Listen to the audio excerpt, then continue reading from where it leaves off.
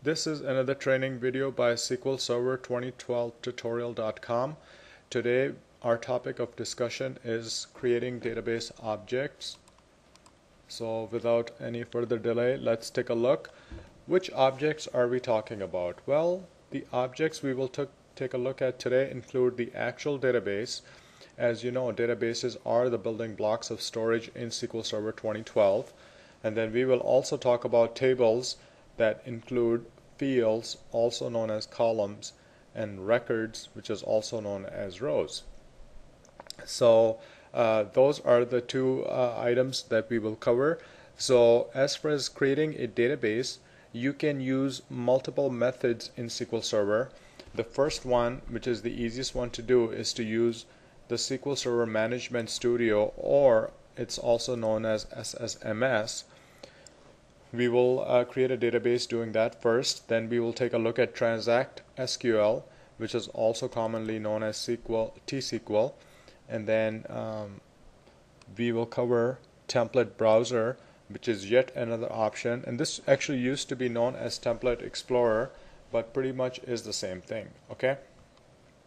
So moving on uh, as as creating a database using SSMS uh, this is definitely the easiest way to do this uh, let's take a look at some important considerations. When naming objects, you should always use intuitive information with no spaces. So for example, uh, like, like it says here, you know, if your database is going to contain uh, sales type information like customers, orders, go ahead and call it sales. I mean, don't uh, use some generic name or some random uh, word to describe that okay another important point is as far as uh, performance the data file and the log file these really should be on separate physical drives. Now why is that? Well what happens is that over time your database is going to get rather large right? And your data file is typically going to used for reading information while a log file is always written to. So in other words one one one you know one file is doing a lot more read activity and the other one is doing uh, a lot more write activity. And if you put them on the same drive then you're gonna you know lose some performance as as the disk is trying to decide what are you trying to achieve. So uh, this is why you need to separate that as a best practice. Now as far as if you're running a production database uh, you know let's say a 24 7 type operation the recovery uh, model should be set to full okay? And then finally um, auto growth which is a parameter that we will take a look at you should always use MB uh, megabytes instead of using the percent. And this will make sense as we go through through our demos. So the first thing we're going to do is to create a database called school. This is going to uh, contain information like students and teachers and whatnot so before we do that, let me show you how to launch SSMS. You're going to do uh, all programs, Microsoft SQL Server 2012, and then SQL Server Management Studio. By the way, uh, you will notice uh, that I will switch uh, between SQL and SQL. Uh, either one is fine. I uh, prefer using SQL, but I will go back and forth between them. so once I launch this, it's going to ask you which server do you need to connect to and I'm running uh, SQL Server 2012 on my local box. Uh, in your case you know you may be running uh, this in your company so you will have to connect to your proper uh, server I guess. And then once you're in in your instance the next thing you need to do is you need to go to Object Explorer database and then new database okay? And then you enter information like file, location, size, and whatnot. So, so let's go ahead and do that. We are going to switch gears. Uh, I'm going to go to Start, All Programs, Microsoft SQL Server 2012, and then Management Studio. Now, as it launches this, uh, it is it is going to ask you, uh, you know, what uh, there there are two two important things. First of all, you need to choose what server type are we connecting to. Uh, in our case, we are choosing database engine, but uh, be mindful that you can connect to other things like reporting services integration services and we will cover those at a later video but for now we are going to connect to database engine and uh, server name in our case we're just using a period which means it's connecting to my local machine you you could possibly add a machine name in here if you have that. You could even add a uh, IP address or something along those lines. Some people do that but for me it's uh, it's my local machine. I am using Windows authentication. Another option is to use SQL authentication which for now we're not going to use and then I will simply hit connect. Okay so now we are in management studio and this window here is called object explorer. There is another one uh, which is known as registered uh, servers uh, where you can organize uh, your servers. We will uh, primarily be working in object explorer. If you want to know more about the layout and whatnot we do have another video that uh, pretty much talks about SQL Server Management Studio. So I would definitely encourage that you watch that now if I come back to uh, my PowerPoint notice that I need to go to Object Explorer database and new database. And for now I'm just going to use um, this as my name. So uh, I go to uh, the database tab okay? In fact I will just right click on it select new database okay? And this is where we need to information enter information on the database. So um, I'm adding school as the name of my database. You'll notice in here that um, you know it automatically creates two files. Th this first one is like I mentioned the actual data file okay? And the second one is is the log file. Now if I expand this um, you'll notice that there are a few things we need to consider. We had mentioned the auto growth. I'm going to click on the ellipses.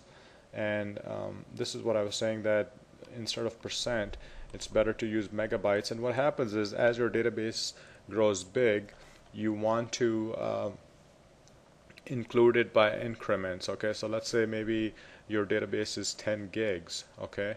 And if you're trying to add it by uh, by 10% you know that is one gig at a time which is a huge amount of space. So we prefer to do uh, or it's best practice to add you know in megabytes for now I'm okay with unlimited.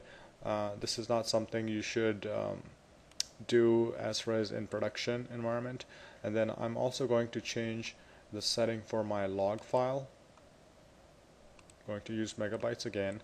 And then you know let's go ahead and use 100 megabytes. Okay we'll leave unlimited. Now as far as path you'll notice that again I am using a C drive in my case. Um, you know this is not the preferred location. Uh, if this was a database server you should definitely be seeing multiple drives in here. Uh, in fact it's not uncommon to have uh, you know program files for SQL on C uh, data files on D log files on E and whatnot. But um, I'm just doing a demo so I will I will leave those as is uh, you could uh, feel free to look under options. I'm not really going to change anything. Um, one thing I did want to make sure that I'm using a recovery model of full and uh, we will cover that in a separate video but uh, uh, file groups again I don't need to change anything in here. And then I will click OK. So just like that we have created our school database. If you expand this node you'll notice that we have uh, several different options so let's go ahead and take a look at the tables. You just click on the plus button and notice there are no tables in here as of yet. So that is simply how you create a database uh, using SSMS. The other item is to use a to create a database using T-SQL, um, which as as I mentioned is known as Transact SQL. So what you do is you use a command called create database command. Uh, here is a base basic syntax. So let let us go down uh, this list. Um, quite a few flags in here. Don't be alarmed. It's not uh, really rocket science. You use create database command. Then you actually give it the name of the database okay? And then uh, you use the word on okay? And now if you look uh, we are basically separating the two parts. This part up here has to do with the data file and this part here has to do with the log file. They look very similar so I'll just cover this one maybe. Uh, here it mentions this is the logical name for the log file okay? This is physical location which in our case we just saw the C drive uh, initial file size in MB and then maximum file size in MB which is megabytes and then file growth which is a parameter using either percent or MB and like I mentioned you do want to use MB uh, as a preferred method. I will say that one more item in here. As far as excuse me as far as size uh, let's say you know you anticipate the database to be quite large um, with lots of information it is much better to create uh, space for it in the beginning instead of you know starting out with a small database and you let SQL Server manage the space. Uh, so in other words, you should put some consideration into it and do some planning and come up with a better estimate uh, for creating this database. So for this one, we are going to create an HR database and I already have a script ready to go. So again, I am going to switch to Management Studio and load up a script. So in, other, in order to load the script, you go to File, Open, File. You can also do Control O, okay? Or my favorite is just clicking on this icon. And it is going to bring up your C drive. We already have this uh, ready to do its magic.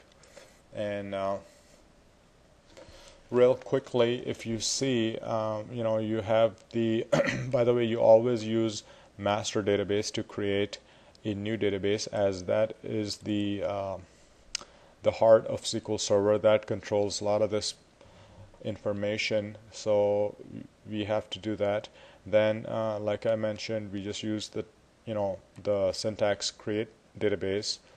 Name of our database is HR this again, if you're paying attention, is our data file information and this is our log information okay?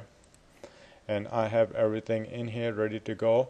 As far as executing uh, code in SQL Server you just highlight the part that you would like to execute and then you can either hit F5 or this little uh, exclamation button over here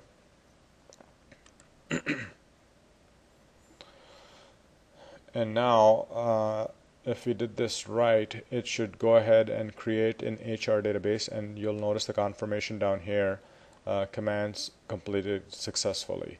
Now if you notice um, we still still do not see an HR database in here. Um, and this is one of those things in SQL Server that you will get used to.